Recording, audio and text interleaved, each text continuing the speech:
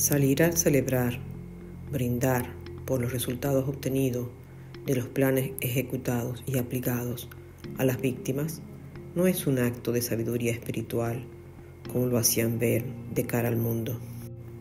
Falsos gurú que utilizaban la espiritualidad como vehículo de manipulación, aprovechándose de la vulnerabilidad de sus víctimas. No les tembló el pulso, ni tampoco se tocaron el corazón.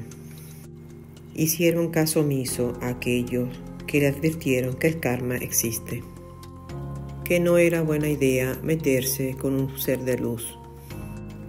A pesar de esa oscuridad en la cual transitan por haber vendido sus almas al diablo, aún pueden rendirse a Dios.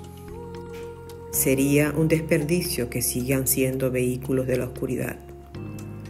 Ser esclavo de las bajas pasiones, de los vicios, seguir atados y anclados al poder y a la ilusión del control. Solo debes estirar la mano y aferrarte a Dios. Él puede salvarte.